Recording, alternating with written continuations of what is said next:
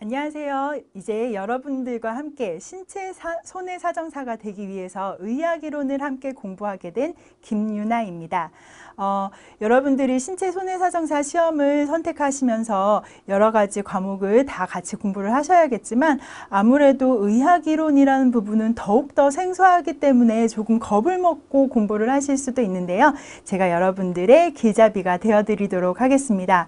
아, 아무래도 여러분들이랑 직접 만나서 강의를 하면은 조금 더 현장감 있게 얘기를 또 하고 또 제가 임상이나 아니면 또 보험사에서 재직하면서 겪었던 사례들을 좀 더 상세히 이야기를 하면서 여러분들한테 더 재미있게 강의를 할 수 있을 것 같은데 아무래도 이렇게 온라인으로 만나게 되니까 조금 아쉽긴 하네요. 그래도 이 주어진 시간에 제가 최대한 여러분들께 제가 알고 있는 것들을 알려드릴 수 있는 시간을 갖도록 해보겠습니다. 자, 우선은 그 본격적으로 공부를 시작하기 전에 시험이 보통 어떻게 나오는지, 특히 의학이론 시험은 어떻게 나오는지 한번 살펴보고 또 여러분들이 의학이론과 관련해서 궁금한 것들이 꽤 많으시더라고요. 그래서 그 궁금한 것들 중에서 특히 질문이 많았던 것 세 가지 여러분께 말씀드려 보도록 할게요.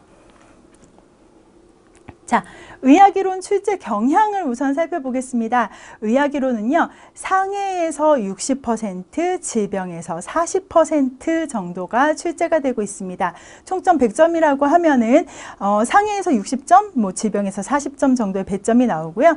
자, 문제를 제가 한번 가지고 왔어요. 어떤 문제들이 어떻게 나오는지 조금 보고 우리가 공부를 시작하면 조금 쉽겠죠. 그래서 2020년 신체 손해 사정사에서 의학이론 시험으로 나왔던 부분에 대해서 한번 발췌를 해봤습니다. 상해 같은 경우에는요. 이게 2번 문제였는데 보세요. 어깨 손상의 주요 부위인 회전근개 파열에 대해서 묻는 질문이었어요. 자, 회전근개 파열이 있는데 그럼 회전근개는 무엇이냐? 그 근육 네 가지를 쓰세요. 하나당 1점씩 해서 4점 배점했고요. 두 번째, 이 중 가장 많이 손상되는 근육은 어디일까요? 뭐 극상근이다. 뭐 이렇게 해갖고 1점 배점이 되어 있습니다. 그리고 회전근개 파열 진단 시 가장 많이 사용하는 영상검사 두 가지를 쓰세요. 라고 해서 또 배점이 1점, 1점씩 2점 그리고 회전근개 파열 주요 치료 세 가지 어떤 것을 해야 하는지 해서 각 1점씩 해서 3점 이런 식으로 주관식 같은 객관식 같은 단답형 같은 약간 조금 이런 문제로 구체적으로 문제가 출제가 됐어요. 자, 이렇게 해서 전체 10점짜리 배점으로 나왔습니다. 이런 경우에는 키워드가 명확해요.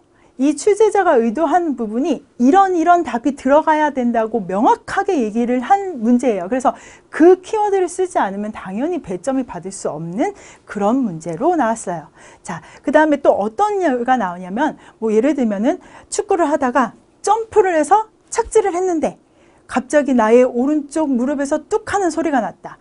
자, 이럴 때 예상되는 진단명은 무엇입니까? 이렇게 나오는 경우도 있어요. 어, 내가 의사가 아닌데. 나 의사 아닌데 어떻게 내가 그걸 알아? 공부하다 보면 아실 수 있습니다. 아주 흔한 보험사에 청구하는 질병 중 하나예요. 그래서 그런 것들 저랑 같이 배우실 겁니다. 자, 그 다음에 질, 질병은 문제가 어떻게 나오냐. 질병, 자, 9번 문제 제가 발췌했습니다. 종양이란 우리 몸속에서 새롭게 비정상적으로 자라난 덩어리라 볼 수 있다. 그래서 종양은 양성과 악성으로 나뉜다. 자, 종양이 가지는 특성별로 양성과 악성 종양의 차이점을 다섯 가지 이상 쓰세요. 그래서 10점 이렇게 나왔습니다. 차이점이 다섯 가지 뿐이겠습니까? 여러 가지가 있는데 그 중에서 적어도 다섯 가지 이상은 쓰라고 문제가 나왔어요. 자, 이런 식으로 문제가 나와요. 그러면 이런 문제들을 풀기 위해서 우리는 기초 지식을 가지고 있어야 되고 그 기초 지식 위에 암기를 하면서 문제를 자, 풀어봐야겠죠. 그래서 이런 문제 나왔다고 너무 겁먹지 마시고 저랑 같이 의학이론 공부하시면서 이 문제를 차근차근 풀어갈 수 있는 능력을 한번 키워보도록 하겠습니다. 자, 그 다음에 여러분들이 좀 많이 궁금해 하시는 것들이 있어요. 자, 의학이론 수험생 궁금증 베스트 3를 제가 한번 뽑아봤습니다. 교재 여러 번 읽으면 되나요? 다독만이 살 길입니까? 이렇게 물어보시는 분 많으세요. 제가 그 신체 손해 사정사라는 시험 알게 되고 그다음에 또 제가 보험사에 있을 때 여러 직원들이 요 그 손해 사정사 시험을 응시하면서 또 합격했을 때 내가 어떻게 공부했어 하고 물어보면 한 열 번 읽었어 이런 사람들이 있었어요.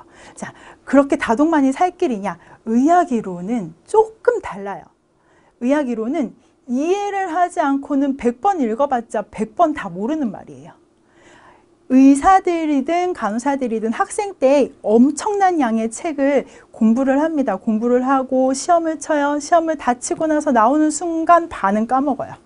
억지로 암기했기 때문이에요.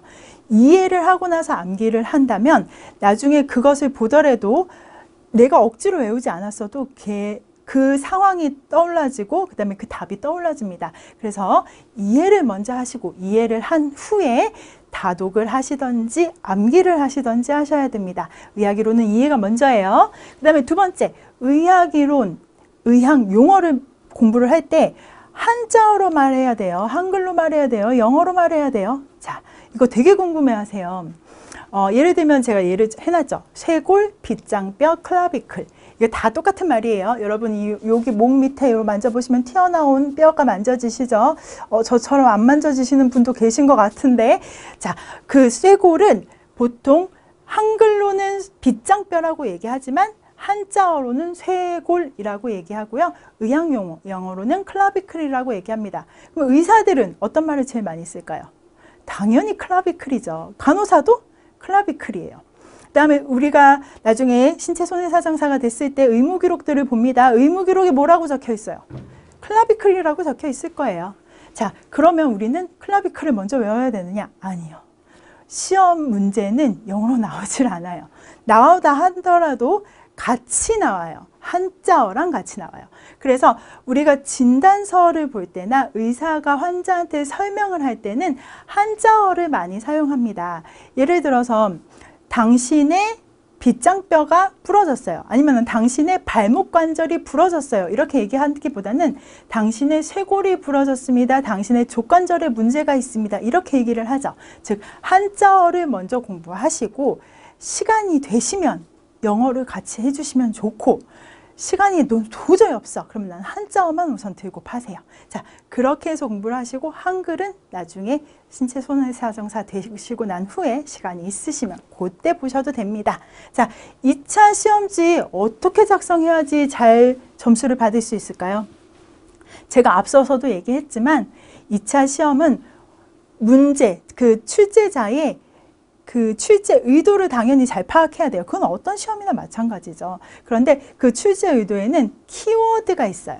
키워드. 내가 이 단어가 이 답안지에 들어가면 점수를 주겠다라고 생각한 부분이 있습니다. 그래서 그 핵심 키워드를 반드시 작성을 하셔야 돼요. 그리고 질문의 내용을 정확히 보셔야 됩니다. 예를 들어서 뭐 슬관절 전방 십자인대 파열에 수술 방법을 쓰시오라고 썼, 만약에 문제가 나왔어요. 그런 문제 잘안 나올 것 같긴 하지만 수술 방법을 쓰시오라고 얘기를 했어요. 그런데 나는 실관절 전방십대인대 파열은 이런 것이고 치료는 어떻게 해야 되고 진단은 뭐고 이러이러한 상황에서 발생이 될 수 있고 그래서 그걸 한 80% 적고 밑에 두 줄로 수술은 뭐다 이렇게 하면은 좋은 점수를 받기가 어려워요. 핵심적인 부분, 질문을 한 부분에 대해서 정확히 찾아보시고 거기에 대해서 답변을 하셔야지 좋은 질문, 좋은 답변, 그리고 좋은 점수를 받으실 수가 있습니다. 자, 이렇게 해서 우리 간단하게 오리엔테이션을 맞춰봤고요.